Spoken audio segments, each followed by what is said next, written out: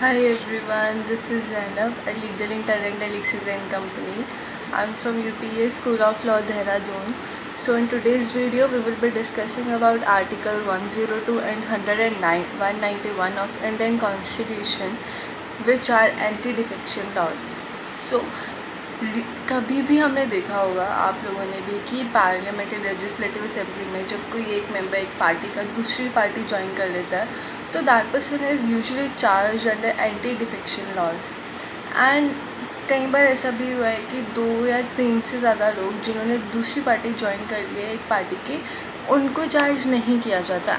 तो I mean there are different instances in this anti defection laws and we will discuss each and everything and focusing on the very concept of this. So, let's start. तो Rajiv Gandhi government जब fifty second amendment के साथ tenth schedule हमारे constitution में add किया था उन्होंने, जिसके अंडर डिफेक्शन को डिफ़ाइन किया प्लस क्या क्या डिफेक्शन नहीं होगा और क्या क्या डिफेक्शन होगा। और ऐसे केसेस में पार्लियामेंट के पास या पार्टी के पास क्या पावर होगी? उस मेंबर के पास क्या रिस्ट्रिक्शंस होंगी? और इसके साथ साथ कि जो जुडिशल रिव्यू है, वो हो पाएगा या नहीं? प्लस स्पीकर्स के क्या पास क्या पावर होंगी? ऐसी सिचुएशन में एंड इसके साथ साथ ही ये लॉ होने के बाद भी मतलब फिर भी there are literally so much crisis in this political environment तो ये बात जो स्टार्ट हुई दैट वाज समवेयर इन 1967 जब कांग्रेस लाइक बहुत ही ज़्यादा लोअर लोअर जा रही थी एट दैट टाइम कि uh, ऐसा बोला जाता था कि हम वेस्ट बंगाल से पंजाब तक जाने के लिए नॉन कांग्रेस स्टेट को मतलब कांग्रेस नहीं होगी बीच में we can pass through West Bengal to Punjab क्योंकि एक टाइम ऐसा था वी ऑल नो कि पूरे देश भर में सिर्फ़ कांग्रेस व रूलिंग कोई और पार्टी नहीं थी ओनली कांग्रेस वॉज़ देर तो लेकिन ऐसा सिनेरियो आ गया था 1967 तक कि कांग्रेस का बहुत ही आ, कम हो गया था एंड मोस्टली बिकॉज़ जो मिनिस्टर्स थे जो एम थे वो दूसरे बिखर रहे थे दूसरी पार्टी ज्वाइन कर रहे थे। और इसके साथ साथ एक मैगज़ीन भी थी।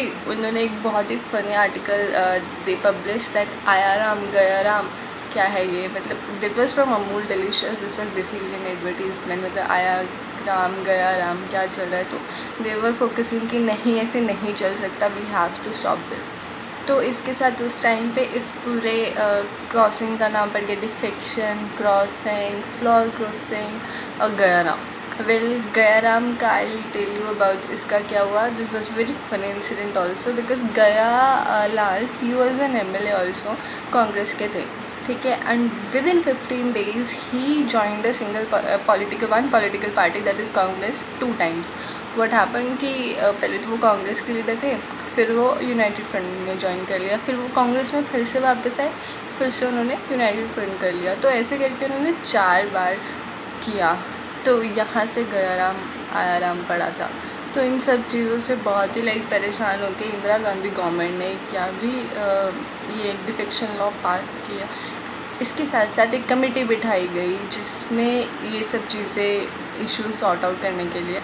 तो हुआ क्या कि आ, मतलब जो कांग्रेस के और भी ज़्यादा लीडर्स थे एम थे, उनका भी यही मानना था कि to save the Congress basically क्योंकि ऐसे तो कोई भी ज्वाइन करके छोड़ जाएगा, फिर वापस आ जाएगा, कि basically to preserve the basic motto of Congress and उसकी एक उम्मीद कायम रहे तो इसके लिए इन्हें कुछ ना कुछ ऐसे लॉज लाने पड़ेंगे, ऐसे एंटी डिफिक्शन लॉज तो जहाँ से उन्होंने करके ये करा।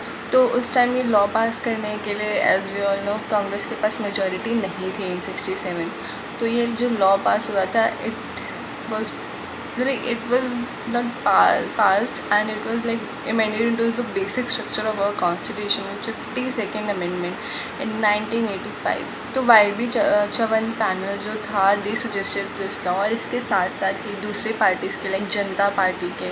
And basically the first one was made by the Indira's home minister Uma Shankar Dikshit in 1973 and the second was by Shanti Bhushan in 1978 and the minister for law and justice I told कि वो जनता party के through पहला था। फिर उसके बाद जो third attempt था विच वॉज़ सक्सेसफुल फाइनली 1985 में हुआ, जब कांग्रेस चार सौ से ज़्यादा सीट्स जीत चुकी थी लोकसभा। एंड उसके बाद after math of Indira's assassination of course कि उनको बहुत ज़्यादा मेजोरिटी मिल गई थी। एंड देन उस टाइम पे ये लॉ पास किया गया बड़ी जद्दोजहद के साथ। So, to articles uh, 102 and 191 of our constitution that talks about the grounds for disqualification. 102 talks about the disqualification of the uh, member of parliament whereas 191 talks about the disqualification of member of legislative assembly. So basically grounds for disqualification was that only The if any members of the parliament and legislative assembly they uh, give up their membership voluntarily. To join the other political party, these are the grounds for disqualification. और इसके साथ साथ ही parliament में whip होता है okay जिसके under जो भी मेंबर होता है, उसको जैसे कोई भी लॉ आता है तो they have to give the answer that if they are in the favour और अगेंस्ट ऑफ़ दिस लॉ तो ये विप इशू किया जाता है। उनके पास ये पावर होती है कि वो इसको फेवर अगेंस्ट में कर सकते हैं। लेकिन जब भी कोई पार्टी करती है, अगर उसका जो हेड है वो बोल दे कि हाँ यू हैव टू से इन फेवर तो पूरी पार्टी को फेवर में ही बोलना पड़ता है। अगर वो उसके अगेंस्ट में कोई भी एक मेंबर चला जाता है कोई भी जाता है तो वो भी एंटी डिफेक्शन लॉस के अंडर कंसिडर होता है। और अगर कोई भी इंडिपेंडेंट पर्सन है, जिसकी अपनी एक इंडिपेंडेंट पार्टी है, वो दूसरी पार्टी के लिए कोई लेक करता है ज्वाइन करता है तो एंटी डिफेक्शन लॉस के अंडर आ जाता है। इसके साथ साथ इफ़ एनी नॉमिनेटेड मेंबर किसी भी पार्टी का वो within six months of his nomination वो दूसरी पार्टी ज्वाइन कर लेता है ग्राउंड फॉर डिफेक्शन इसके साथ साथ अंडर आर्टिकल 102 बी सी की जो डिस्कालिफिकेशन की पावर्स है वो प्रेसिडेंट को दी गई है। लेकिन अंडर दिस एंटी डिफेक्शन जो चेयरमैन है और uh, जो हेड होता है पार्टी का मतलब स्पीकर स्पीकर और चेयरमैन इन दोनों के पास पावर है डिफेक्शन के लॉस के लिए। मतलब दे है जो डिस्कालिफिकेशन के ग्राउंड हैं they are on the ground of defection is refer to the speaker और chairman of the house for the final decision so that's all for this video will discuss then लेक्ट a part in next video thank you